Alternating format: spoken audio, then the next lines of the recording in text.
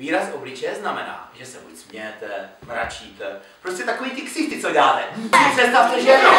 A celou noc náš Honzík bude spát. Takže můžete spát. Jako Takže já mu dám na svačinku třeba mrkvičku, jablíčko, sír, rohlíček, hamburgera, žížaličku, kostičku, dortíček, mléko, jitrničku a hranolky. Můžete tohle všechno zapapat. Tam mi to opraví. Barvičku. A ještě to uděláme z toho zpátky s jo? Paní Šelka, já vám poradím. Čtyři nohy, jo? Tak jejte. Čtyři Tak jeden, jo? Tak nasaďte, ale pokračujte z toho těla nějak, jo? Než to bude mít utržený ty nohy. Tak nasaďte, a je, držíme palce. jo?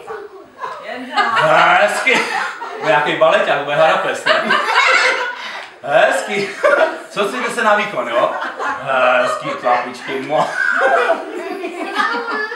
No, co to, já myslím, že to má vemeno. Tak.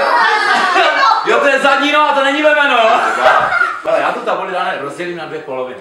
Tohle bude tvoje polovina na kreslení, tohle bude moje polovina na kreslení. Co budu na nečku kreslit, budeš kreslit, říkat? budete Ano. opakovat. Opakovat. Připraveni? Připraveni. Are you ready? Are you ready? Yes, I am. Vy jste šílený! Tadadadadadada. Koulím, koulím, kuličku. Tohle, co mu chybí? Koleje, ano, koleje, bábatě, kole. Už by mohlo jet?